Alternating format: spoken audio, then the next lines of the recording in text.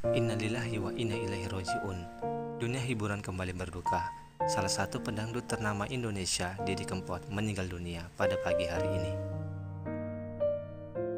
Diliput oleh Detik.com, penyanyi legendaris Didi Kempot meninggal dunia pagi ini di RS Kasih Ibu Solo.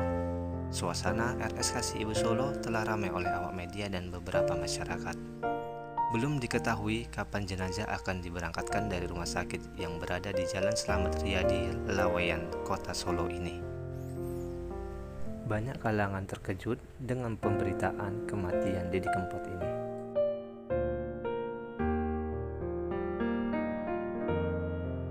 Pelantun lagu-lagu campur sari kenamaan tersebut meninggal pada usia 53 tahun. Divan mengaku dia belum mengetahui secara pasti penyebab kematian Didi Kempot. Sebelum meninggal, beliau sempat berkarya dengan melaunching video klip sebuah lagu dengan judul Jangan Mudik. Ini merupakan salah satu karyanya yang dilaunchingkan untuk mendukung pemerintah dalam memberantas penularan COVID-19.